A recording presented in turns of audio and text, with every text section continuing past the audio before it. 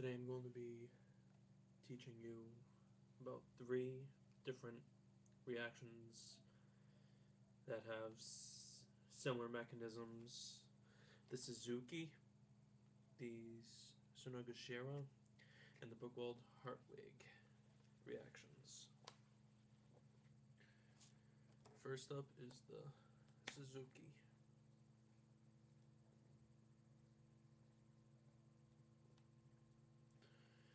The Suzuki reaction contains a boronic acid, so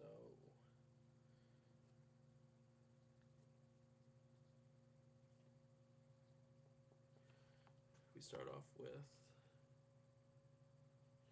an aryl group with a, with a boronic acid, which is right here, and the boronic acid has to be either sp2 or sp3 connected, connected to a carbon that's sp2 or sp3 and we add that to anything say let's just uh,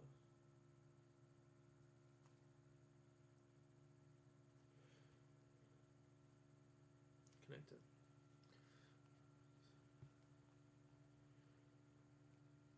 And the uh, bromine aromatic should be sp2 it doesn't have to be aromatic. It can be anything as long as the uh, carbon that it's attached to is sp2 so here it's uh, sp2 here it's sp2 react that with the palladium catalyst as well as potassium carbonate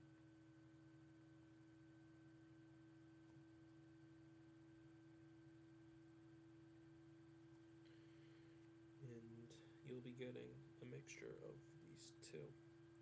The aromatic along with not the the aryl not the aromatic along with that. And you get this to end the reaction. Now I'm going to tell you how this works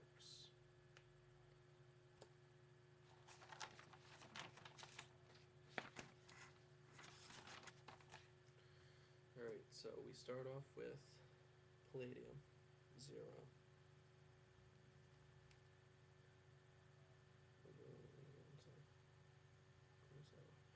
We're starting off palladium zero. We uh, bring this down, and the palladium zero reacts with the aryl bromide, which is right here in a state in a step called oxidative addition.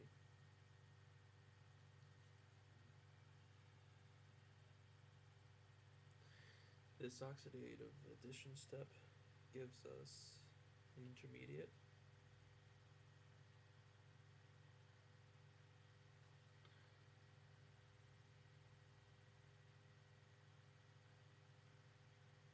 The next step we react this intermediate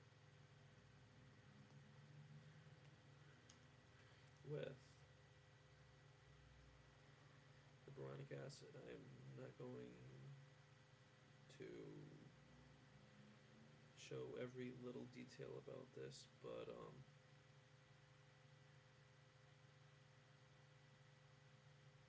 because I'm running out of space, but the original boronic acid that we have up here. We put down here and we react it with hydroxide which is the base that's right here. Up here where is it? Right here.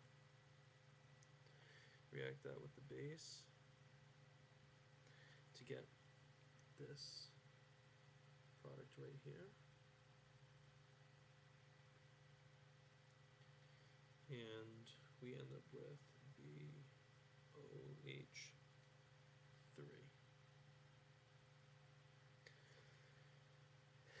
And this step is called transmetallation,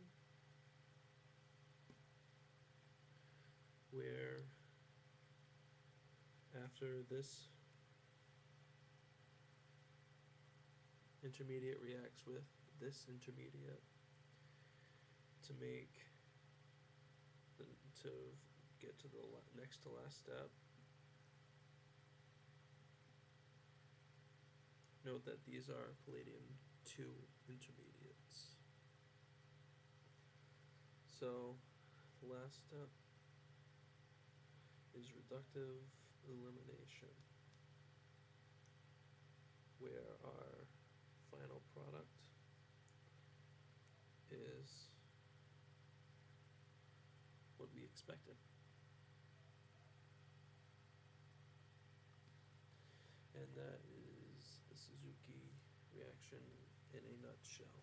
We are, and I am going to quickly go over the uh, remaining ones because they are similar and I am running out of time. I have about three minutes left. So the uh, next reaction I am going to cover is the Sonogashira reaction.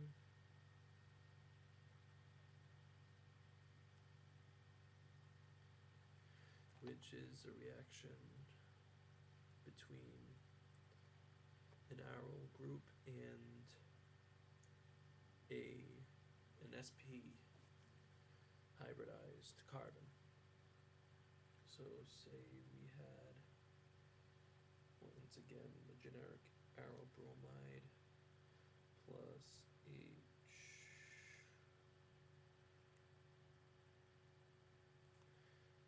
and we're going to react it with a palladium catalyst, copper bromide catalyst, and triethyl nitrate. We're going to end up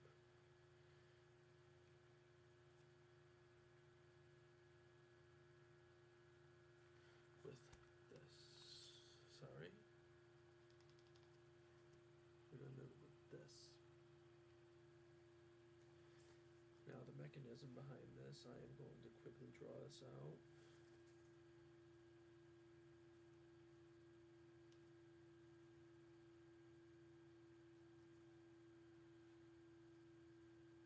Steps are the same, so I'm not going to write them out.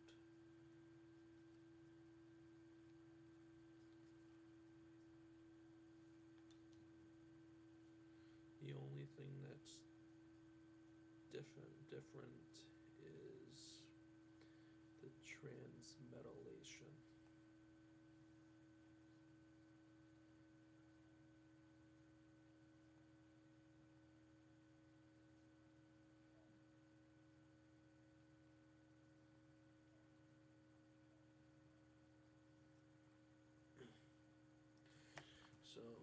This is the transmetallation state where we react the copper iodide with our reactant over here to get this in this cupric intermediate over here. And that then reacts with this palladium 2 intermediate to give us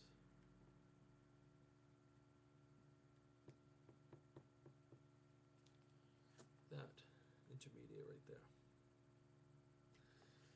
through the transmetallation state. And as was the case in the last reaction the reductive elimination gives us our product. Alright, looks like I have run out of time, so I will only be covering these two reactions. So look for the uh, third reaction in my next video. Thanks for watching.